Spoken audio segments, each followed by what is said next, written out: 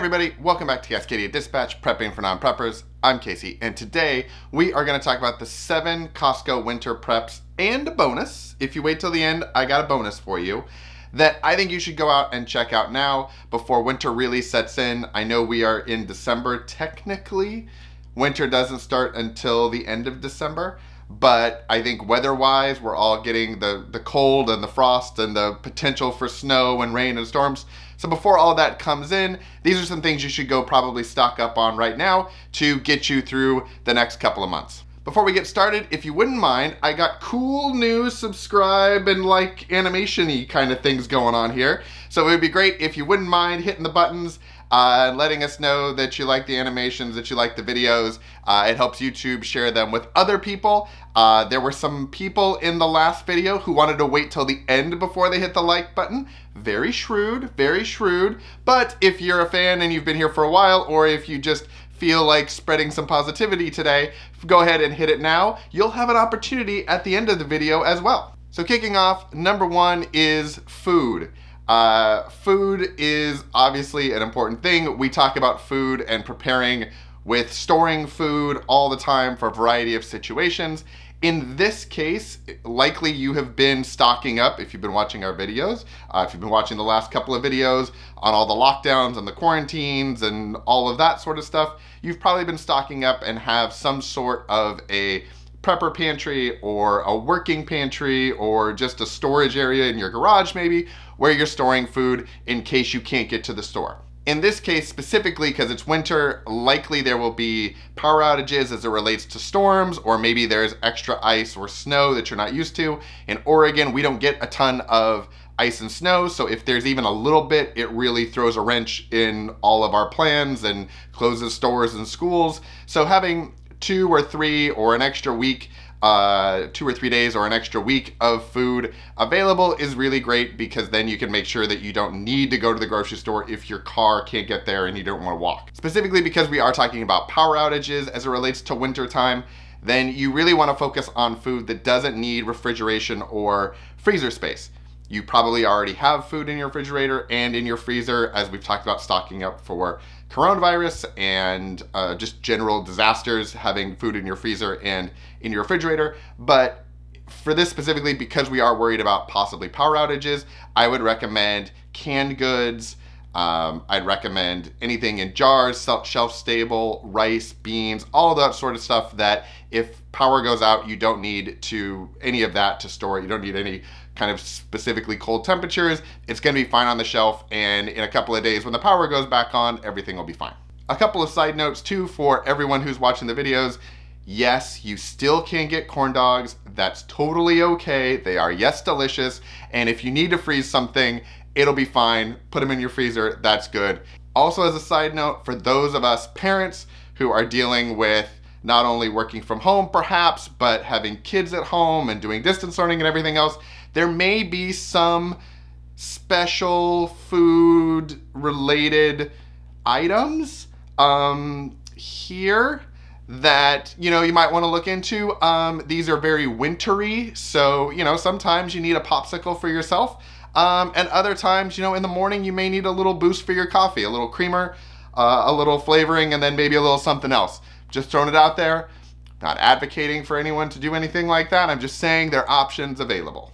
Just a quick comment on water because I know in the comments in all of my previous videos when I have talked about Costco and preparedness and preparedness items at Costco, everybody, even though I say it in the videos, says, what about water? You need to have water. We gotta have water. Yes, you need to have water as a preparedness item. 100% agree. My issue has always been that Costco is not the best place to get the water that you would need in an emergency. Get lots of great stuff at Costco, but water at Costco is usually stored or sold in the small water bottles, either the half liter or the full liter bottles. You can't really get gallons there. And when you are trying to think about water for any extended period of time, usually you're thinking in gallons per person. So having tons and tons of water bottles is not the most efficient way to store it. It's not the most efficient way to buy it. You can get it way less expensive and way uh, easier to store other places like a grocery store Number two is clothes, specifically warm clothes. Uh, tank tops, not really a thing in the wintertime, but Costco has a variety of warm clothes. I was just there the other day. They've got ski jackets, they've got just sweatshirty type jackets and coats and socks and underlay. They have their 32 degrees um, clothes that are kind of like an underlayer. Uh, my kids wear them as pajamas a lot of the time. We have them for if we ever go skiing or if it gets really cold and we want to wear them. Super comfortable. Uh, they've been on sale for a really long time. They may still be on sale, so go ahead and check them out. There are a variety of winter clothes that are currently on sale at Costco. Coats, gloves, socks, all kinds of stuff. It's a fantastic place to get clothes like that, especially because if you're getting them for kids, again, in Oregon, it doesn't snow that often. So if I get a snow coat or hats or any of that sort of stuff for the kids, now, not necessarily hats, but we'll go with the snow jacket sort of an idea. If it doesn't really snow and the kids don't wear it, they're going to have outgrown it likely by the next season, by the next time we, we get around the year and it's wintertime again. So at Costco, I can buy it now while it's in stock. I can have it. If they use it, great, they use it. If they don't use it, then in a couple of months when snow weather is out of the, the realm of possibility, I can always take it back and then I can get another one next year when they might need it again. So the return policy at Costco is, again, fantastic. We have talked about this before.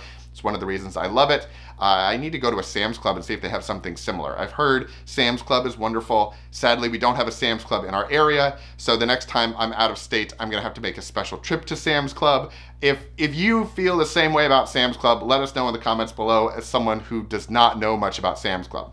Number three is batteries, lights, power. Again, we're talking about wintertime, snowstorms, ice storms, storm storms, uh, any of those things that can cause a blackout.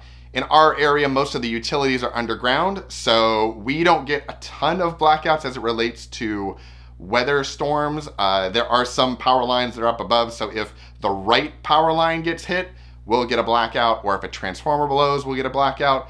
For the most part, we're okay in that sense of the word, but in lots of other places, in rural areas, other areas of the country, other areas of our city even, the power lines are above ground. And so in a windstorm and an ice storm, if one of those lines comes down, you can have a blackout. And depending on how many blackouts there are and how much ice and storm damage there is, it may take a while for the electric company to come back and repair those. So in the meantime, stocking up on batteries, Duracell is currently on sale at Costco, which is fantastic. If you prefer the Duracell brand over the Kirkland brand, I tend to be kind of brand agnostic when it comes to those two. The Kirkland batteries have been great for us. The Duracell batteries are really good. So whichever one is the less expensive is usually what I get. But I always stock up on those. Those are on sale right now. There are these very cool little kind of lanyard flashlights that we got for the kids for camping. It was one of those things that I bought and my wife looked at me and said, why did you buy this? And I was like, because it's going to be fun and we'll see what happens. Uh, they ended up being a great addition to our camping plan. They're little glow light looking flashlights. And so when you click on them, they either light up like a glow stick or they turn into a flashlight. The kids really like them.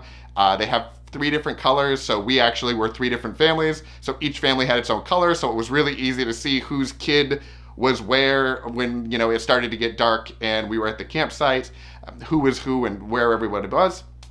You can also attach them to backpacks and all kinds of things. So if you don't have a snap chem light, you can use these very similarly. The kids really like them because they're flashlights for them, but they're also plastic and they're inexpensive. So if they drop and break, not a big deal. I got a couple of packages of them when they were on sale in the summer. They are back on sale now. So if you're thinking about it, definitely a cool thing to get one, get two, get a couple of three, whatever. Uh, put them away, and then, you know, if you use them, great. If you don't, take them back to Costco.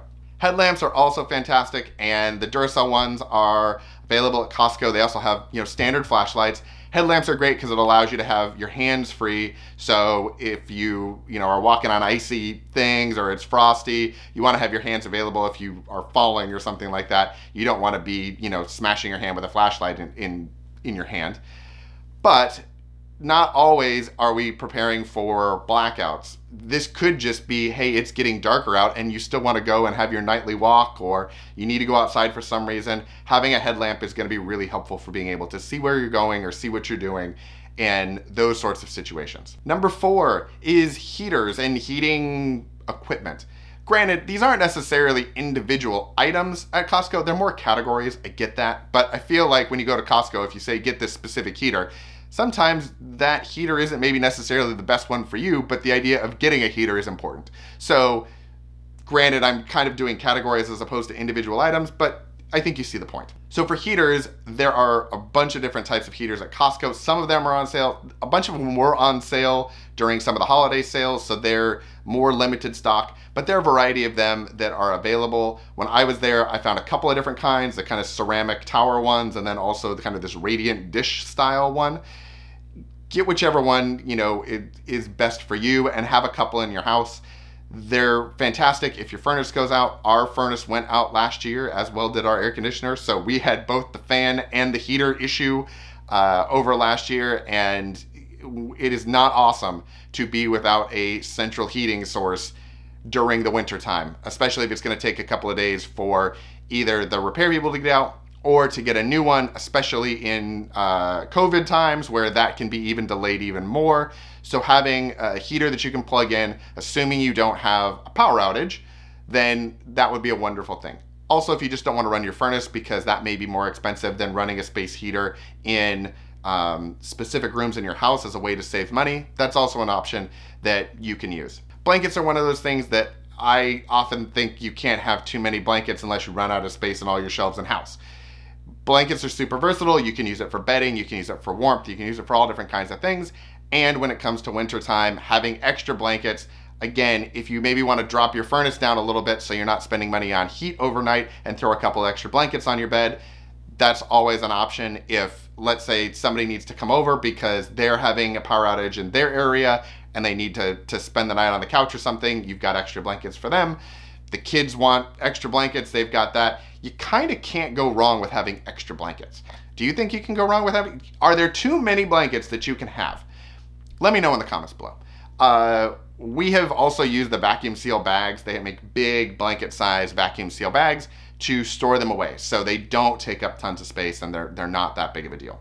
Costco has tons and tons of different types of blankets. They have fleece blankets, they have Sherpa blankets, they have big quilts, they have heated blankets, which again, if you're not in a power outage, super warm and wonderful. You can shut off your furnace almost entirely and just do an electric heated blanket and that'll that'll cover you.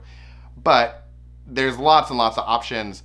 Go check it out and find whichever one. Grab a couple, use those, the new ones as your kind of regular blankets. Uh, rotate through your old blankets, put them on a shelf for emergencies or something like that. We keep a lot of them in tubs, either, you know, in crawl spaces, in closets. So in case something were to happen, we have blankets kind of spread throughout the house. But again, I don't think you can have too many blankets unless you've started to really run out of space and you are trying to decide whether or not to store a case of water or a bunch of blankets. Number five is items for your home repair, home exterior. This is a weird category, but there were a couple of things and I was trying to tie it all together. So this is all about things that can happen outside your house or inside your house that are kind of structural stuff. So the first thing in this is tarps. Costco has a great tarp that they sell and it's usually in a two pack. It's really reasonably priced.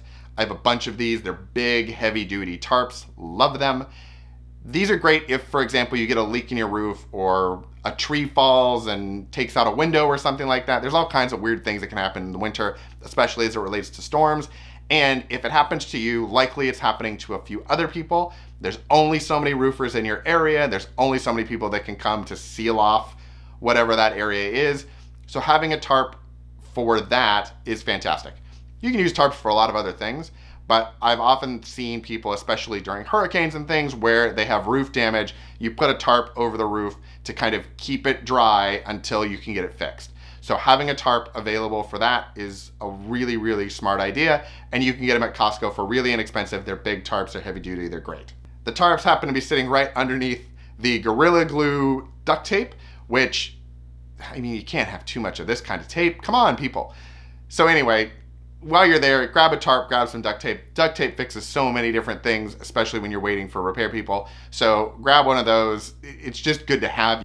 Since we are talking about heaters and things like that, uh, wood stoves, fireplaces, stuff, you know, the, the smokes and combustion, having carbon monoxide detectors that are active and not expired. Carbon monoxide detectors, just like smoke detectors, do have an expiration date. Um, I think it's between seven and 10 years, depending on which brand and which type and all of that. So check your specific ones. If you have one, check the one you have. If you don't have one, go get one uh, and make sure that you have it and it's active. Number six is cold and flu-ish type medications. So a lot of people at the beginning of the pandemic went and stocked up on a lot of this stuff because we weren't really sure what was going on, but we knew it was kind of like a cold, kind of like a flu, kind of awful, kind of worse than everything. So I went out, you know, in March and got a bunch of Mucinex and Tylenol Cold and all of those sorts of things, just to make sure we had it as more science was kind of running through and telling us what was going on. As we get into now, yes, that all still applies, but we have just the regular cold and flu season, which even though most of us are staying at home, there's still a possibility you're going to get a cold or a flu and you're going to pass it around to people. So just because you don't get the awful thing doesn't mean you're not going to get something that's still not great. Costco has all kinds of these medications. You can get them uh, for a much more reasonable price than you can at a lot of different grocery stores and things like that. So I recommend going out, grabbing a, a few of these, whatever you prefer. Everyone kind of has their cold medicine they prefer and their herbal supplements that they prefer. We get elderberry gummies and multivitamins for the kids and ourselves and that sort of thing. Go out and pick all that stuff up. Make sure you've got it so you can kind of keep your immune system up and doing its best as we head into this season. And then if you do get something, you have the medications to deal with it. Number seven, we are almost to the bonus, but number seven is winter driving preps. So these are things that when you're driving, you know, could be snow, could be cold, could be lots of different things. The first item on my list is the Type S battery chargers or battery jumpers that, that Costco sells. There's a lot of conversation about how effective these type of chargers and jumpers are. I've read a lot of different articles and a lot of different reviews and everyone kind of feels like they're all wonderful and awful at the same time. I don't know how that's possible, but that seems to be the consensus. These I got last year because again, with the Costco return policy, I figured if I get one of these and it doesn't work, I'm gonna take it back to Costco, but I might as well check it out. I've had four different jumps on two different cars with this and it has worked every single time. It's fantastic. Um, the only time it didn't work was the time that it wasn't charged. But the four times that it was charged and ready to go, not a problem. So I really, really recommend these. I recommend having one of these in your car. You can use it as a battery bank and a flashlight, but realistically, charge it and keep it for, for an emergency in case you need to jump your car. Uh, you can have other battery banks in your car for charging your phone. This should really be for in case you need to jump your car. Costco also had a variety of kind of like car de-icers and de-snowers and things like that you know, whichever one you prefer. They had one that was kind of like a, a, almost like a cloth that you put over the car to do it. They had this one that is kind of like a broom with a de-icer on it. I have a bunch of different kinds of them. Um, some are shorter and some are longer to get the roof, and just kind of depends on on what the weather looks like and how much ice and snow I think I'm gonna have to get off the car. But these are a really handy tool to have. And since they are at Costco, again, get it for the, the season. And if you don't need it, you can always take it back. Kitty litter is one of those things that you don't think about when it comes to cars or anything else. Um, you think about it when it pertains to cats. But when it comes to snowy driving and also snowy sidewalks, so this could technically be in the home category, but we're going to talk about in the car category. So having a bag of kitty litter in the trunk of your car can be a really wonderful thing if you find yourself in a spot where your car has lost traction because it's either icy or snowy and you don't have any way to create traction. If you don't have chains, if you don't have studded snow tires or something, and maybe you're out driving and all of a sudden you find yourself in a slippery spot, putting down some kitty litter can provide you with some traction to get your car out of out of wherever it is. All right, so the bonus eighth category. I know I said seven and a bonus, whether it's eight it's a bonus. So this one is all about prep projects. So when you're at home, winter time, you're not probably going outside a ton. There's all kinds of different things happening. And a lot of people have kind of taken on these new prep projects to find things to do during COVID or during the winter time. Costco has some great tools that can help you with a lot of these prep projects. First off is their storage bins. So one of the things that I've been working on at home is organization, trying to kind of reorganize a lot of supplies and things like that. There's lots of people that are trying to reorganize closets and, and doing the KonMari and all of that sort of thing. So Costco has great tubs for storage. The black tubs are wonderful and we've used those for camping. We actually can strap them to the roof of the car. They have the little divots on the lids so you can put a ratchet strap over it and tie it down and, and it's really sturdy and stable. Those are fantastic, especially if you don't want to see what's inside of it. The clear tubs are good. My preference for clear tubs is actually the Sterilite tubs, which you can get at Target or Fred Meyer, but they're much more expensive. So if you're looking for doing a lot of organization or you're on a budget more, these are fantastic tubs. Uh, they're square. I don't really like the tubs with the rounded edges because they end up, you can't really pack them as well if they have the rounded edges and they take up more kind of space on a shelf with the protrusion on the ends. If you have the square edges, they stack better, they store better, you can fit more things in them more efficiently. So I really like those and these actually have that kind of square side to them. There are a lot of people talking about food preservation as well, and Costco has some great ideas for that. So the Food Saver vacuum sealer, they have that. We have one, uh, we got it when we were married uh, for our wedding, and we used it for seven, eight, ten years. We haven't used it in the last couple of years just because life has been busy and we haven't really had that. We've been working on gardening projects and other things, so we haven't really done the food saving thing. But when we did it, it was great, and we saved a ton of money by buying bulk food, especially meat, and then putting it in the food saver, freezing it, putting it in our chest freezer. So another thing is if you're looking for ways to save money, especially because maybe we're not eating out as much, maybe you're trying to build an emergency fund, things like that, using the food saver to buy bulk food and vacuum seal it is a fantastic, fantastic project. On the cooking side, if you're looking to do more home cooking things, the crock pot and the Instant Pot are absolute winners. We have both of those.